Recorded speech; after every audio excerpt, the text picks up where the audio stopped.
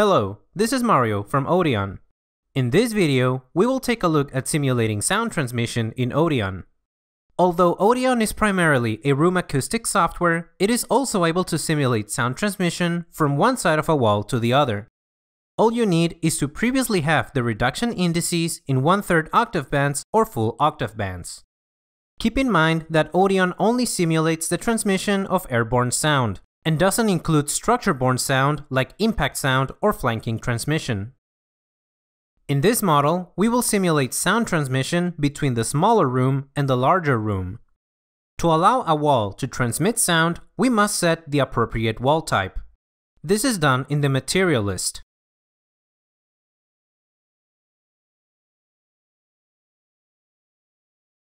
Let's first enable transmission for the window.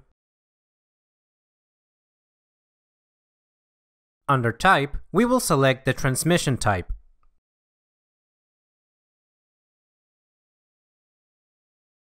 First of all, this will make 90% of the rays hitting the wall to be reflected back and 10% of the rays hitting the wall to be transmitted to the other side. We can visualize this with the billiard balls visualization.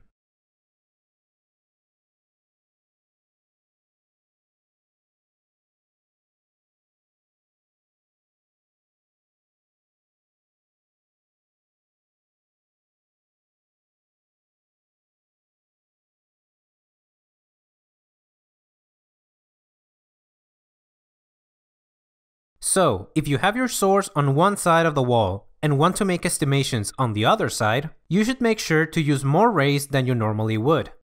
You can change this setting at the room setup.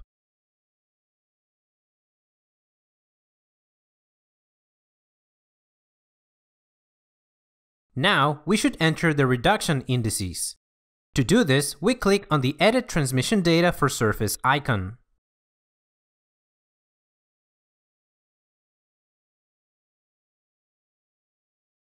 The values are entered in one-third octave bands, ranging from 50 Hz to 10 kHz. The easiest way to enter them is to copy them from Excel in this format, where you have the description in the first column and 24 columns with numbers. These 24 values would represent the reduction indices for all 24 one-third octave bands from 50 Hz to 10 kHz. You can just select and copy the 25 columns or the whole row hit Ctrl V in the transmission data window, and the description and reduction indices fields will be populated. It's that easy. Here, you can also see a bar graph of the values you have entered. If you only copy 24 columns, Odeon will assume that these are reduction indices and will not update the description field. In the same way, you can copy and paste reduction indices directly from INSUL by Marshall Day Acoustics, which is a software for predicting sound insulation. Of course, you can also enter or modify reduction indices individually.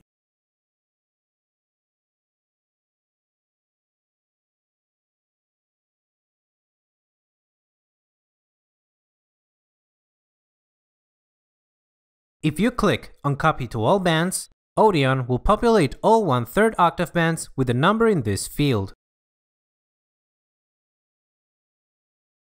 So now, we have 0.10 dB reduction at all frequencies. Clicking Increase Level by from first band will take the current reduction index in the lowest band and add the amount in this field to each band consecutively.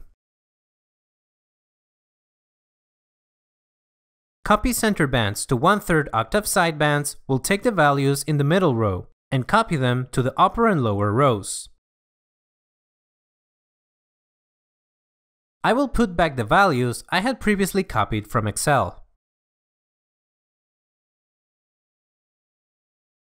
These reduction indices will then be applied to the 10% of rays that are transmitted to the other side, So, this was the procedure for a wall consisting of a single surface. But we can also add reduction indices to a wall consisting of two surfaces. That is, a wall modeled with a certain thickness. In this case, each side of the wall can have a different set of absorption coefficients, while the wall as a whole has a single set of reduction indices. To do this, we find one of the two surfaces and go into its transmission data.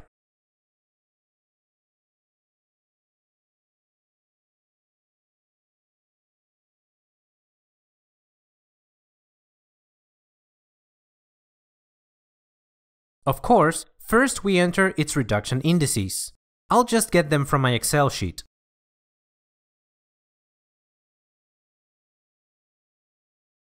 Then, you will have to enable this checkbox, double-sided wall, separate surfaces.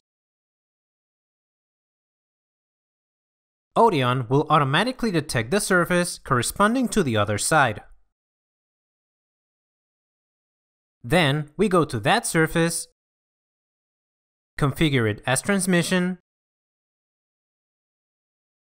and when we go into the transmission data, we'll find that it already has the values that we entered for the other surface. So, changing the reduction indices on either surface will update it on the other one as well. Transmission can be done in any edition of Odeon, but if you have Odeon Auditorium or Combined, you can also listen to the result. Here, I have already configured the transmission for the other wall, the door, and the roof. Then, we should make sure to have auralizations enabled by going into the auralization setup, which will only be available in Odeon Auditorium or Combined.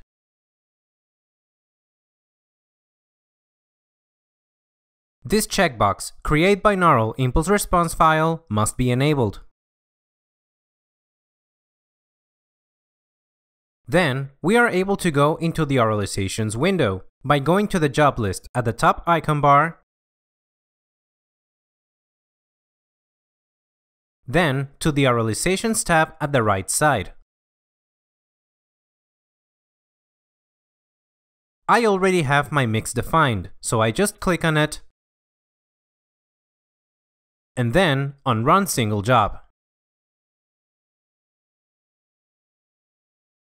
This will calculate the required impulse responses and convolutions. When done, you should pay attention to the max level of the mix. If it exceeds zero and the row is colored in purple or red, the result will be loud and distorted.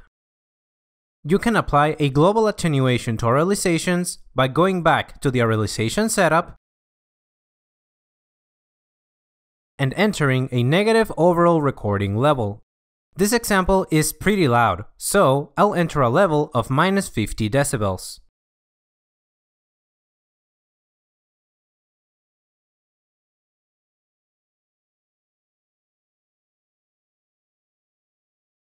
Then I will recalculate.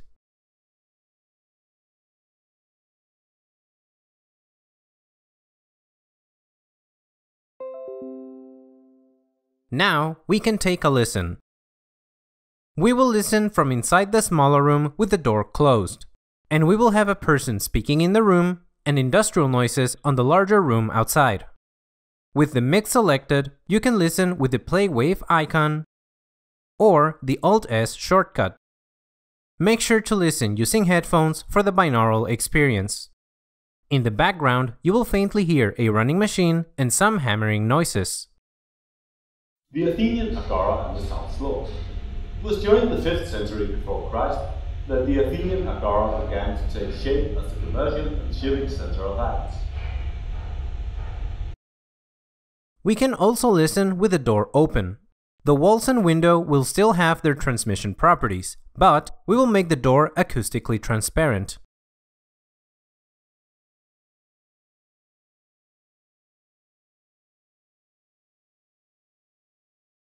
The right way to do this in Odeon is not by setting the transparency to 1, but rather by assigning material number 0. The transparency property adds some scattering to rays going through the wall, which makes sense at intermediate values of transparency. But for an acoustically completely transparent surface, we would want the rays to travel through the surface in a straight line. Material number 0 basically removes the wall from the calculations without having to delete the surface or otherwise modify your model. So here, we select the door surface, then we select material 0, and we click on the Assign Material icon. we don't have to make any further changes to the surface.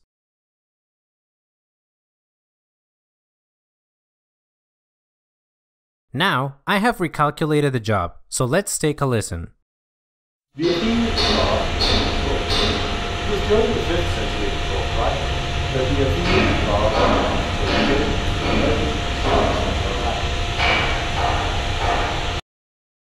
With that, we conclude this tutorial, and we hope you have found it useful. Good luck!